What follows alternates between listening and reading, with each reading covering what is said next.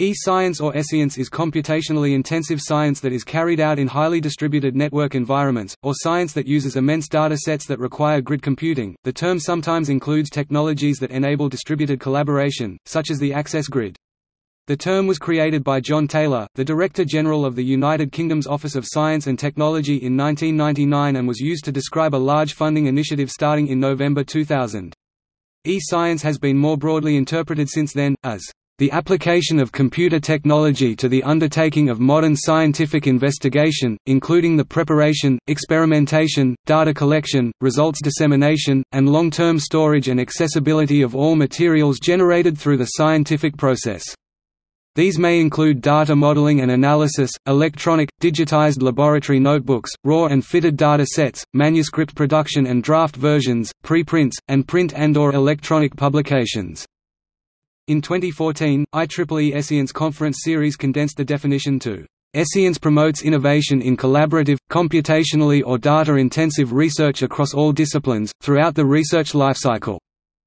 In one of the working definitions used by the organizers, e-science encompasses what is often referred to as big data which has revolutionized science such as the Large Hadron Collider at CERN, that generates around 780 terabytes per year. Highly data-intensive modern fields of science that generate large amounts of e-science data include, computational biology, bioinformatics, genomics and the human digital footprint for the social sciences. Turing Award winner Jim Gray imagined data-intensive science, or e-science, as a fourth paradigm of science empirical, theoretical, computational and now data-driven and asserted that, "...everything about science is changing because of the impact of information technology." And the data deluge, e-science revolutionizes both fundamental legs of the scientific method, empirical research, especially through digital big data, and scientific theory, especially through computer simulation model building. These ideas were reflected by the White House's Office and Science Technology Policy in February 2013, which slated many of the aforementioned e-science output products for preservation and access requirements under the Memorandums Directive. E-sciences include particle physics, earth sciences and social simulations.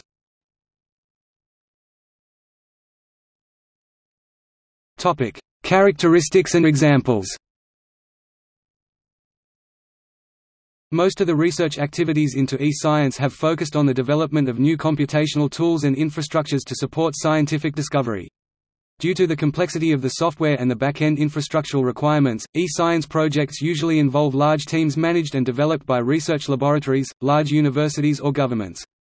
Currently there is a large focus in e-science in the United Kingdom, where the UK e-science programme provides significant funding. In Europe the development of computing capabilities to support the CERN Large Hadron Collider has led to the development of e-science and grid infrastructures which are also used by other disciplines.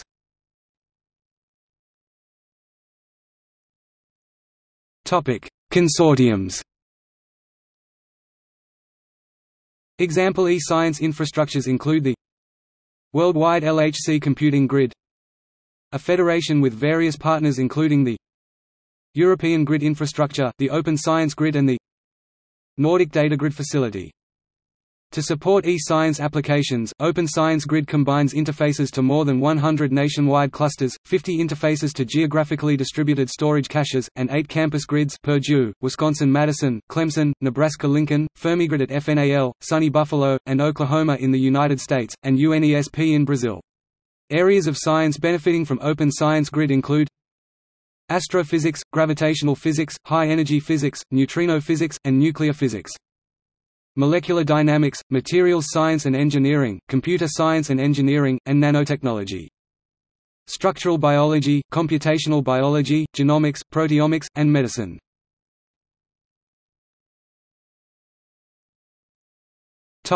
UK program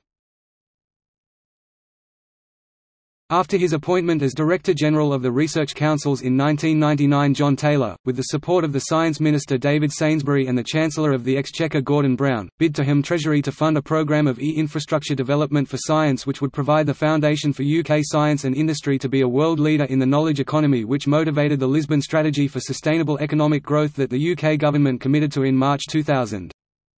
In November 2000 John Taylor announced £98 million for a national UK e-science programme. An additional £20 million contribution was planned from UK industry in matching funds to projects that they participated in.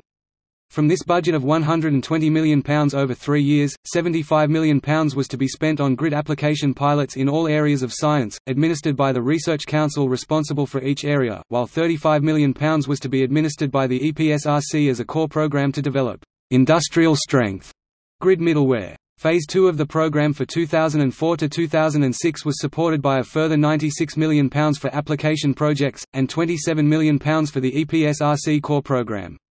Phase 3 of the program for 2007 to 2009 was supported by a further £14 million for the EPSRC core program and a further sum for applications.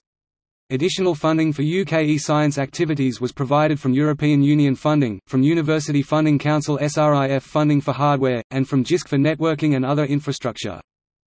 The UK eScience programme comprised a wide range of resources, centres and people including the National eScience Centre which is managed by the Universities of Glasgow and Edinburgh, with facilities in both cities. Tony Hey led the core programme from 2001 to 2005. Within the UK regional eScience centres support their local universities and projects, including White Rose Grid eScience Centre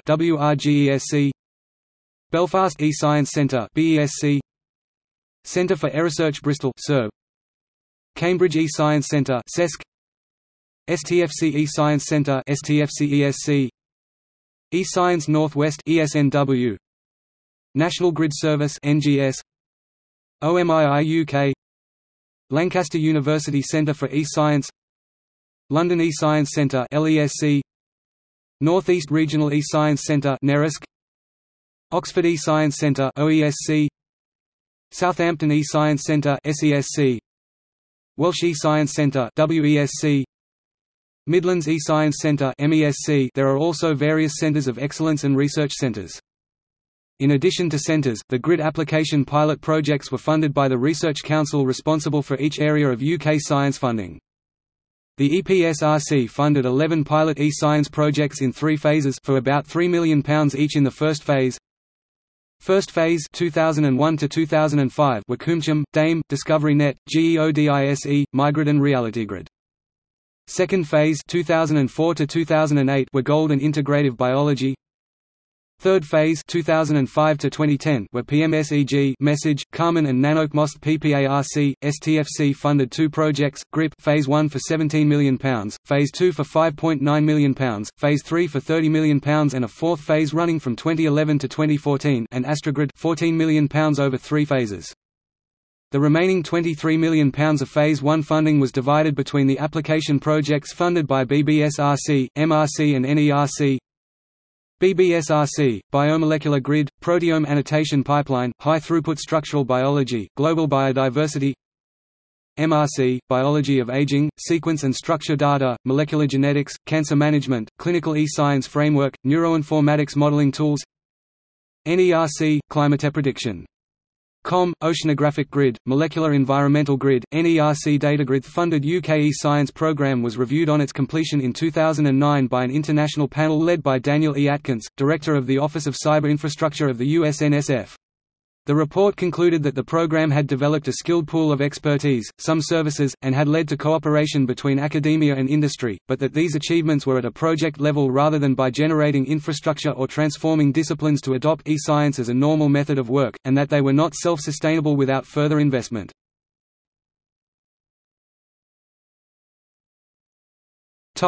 United States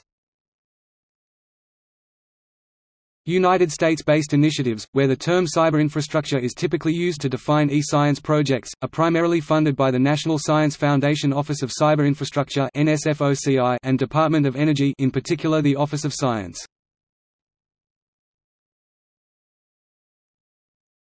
The Netherlands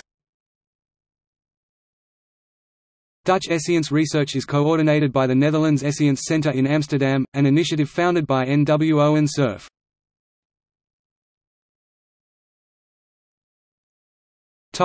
Europe Plan Europe is a platform of national e-science, data research centers in Europe, as established during the constituting meeting 29–30 October 2014 in Amsterdam, the Netherlands, and which is based on agreed terms of reference. Plan E has a kernel group of active members and convenes twice annually. More can be found on Plan E.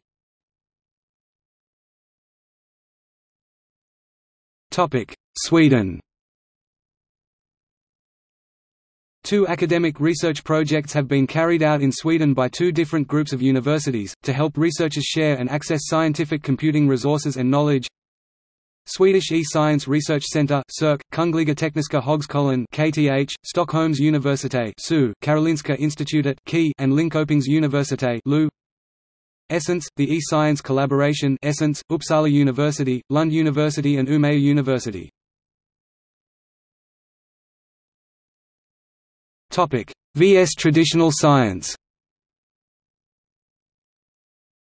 Traditional science is representative of two distinct philosophical traditions within the history of science, but e-science, it is being argued, requires a paradigm shift, and the addition of a third branch of the sciences. The idea of open data is not a new one, indeed, when studying the history and philosophy of science, Robert Boyle is credited with stressing the concepts of skepticism, transparency, and reproducibility for independent verification in scholarly publishing in the 1660s. The scientific method later was divided into two major branches, deductive and empirical approaches. Today, a theoretical revision in the scientific method should include a new branch, Victoria Stodden Advocate S, that of the computational approach, where like the other two methods, all of the computational steps by which scientists draw conclusions are revealed. This is because within the last 20 years, people have been grappling with how to handle changes in high-performance computing and simulation. As such, e-science aims at combining both empirical and theoretical traditions, while computer simulations can create artificial data, and real-time big data can be used to calibrate theoretical simulation models. Conceptually, e-science revolves around developing new methods to support scientists in conducting scientific research with the aim of making new scientific discoveries by analyzing vast amounts of data accessible over the Internet using vast amounts of computational resources. However, discoveries of value cannot be made simply by providing computational tools, a cyber infrastructure or by performing a pre-defined set of steps to produce a result. Rather, there needs to be an original, creative aspect to the activity that by its nature cannot be automated. This has led to various research that attempts to define the properties that e-science platforms should provide in order to support a new paradigm of doing science, and new rules to fulfill the requirements of preserving and making computational data results available in a manner such that they are reproducible in traceable, logical steps, as an intrinsic requirement for the maintenance of modern scientific integrity that allows an extenuation of Boyle's tradition in the computational age.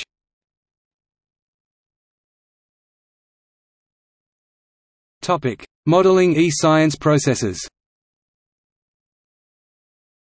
One view argues that since a modern discovery process instance serves a similar purpose to a mathematical proof it should have similar properties, namely it allows results to be deterministically reproduced when re-executed and that intermediate results can be viewed to aid examination and comprehension. In this case, simply modeling the provenance of data is not sufficient.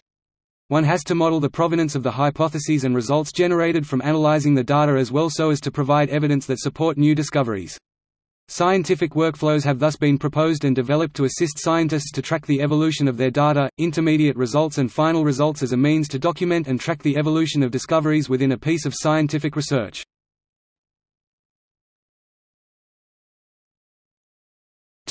Science 2.0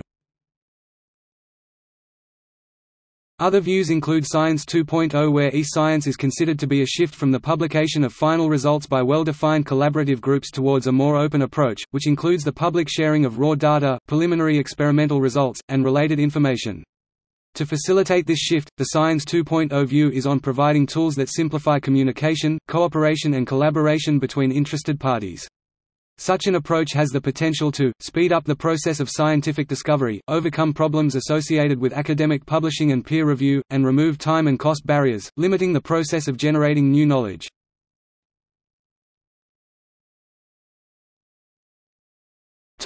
See also Citizen science Cyber infrastructure Distributed computing E-research E-science librarianship. E-social science. Grid computing.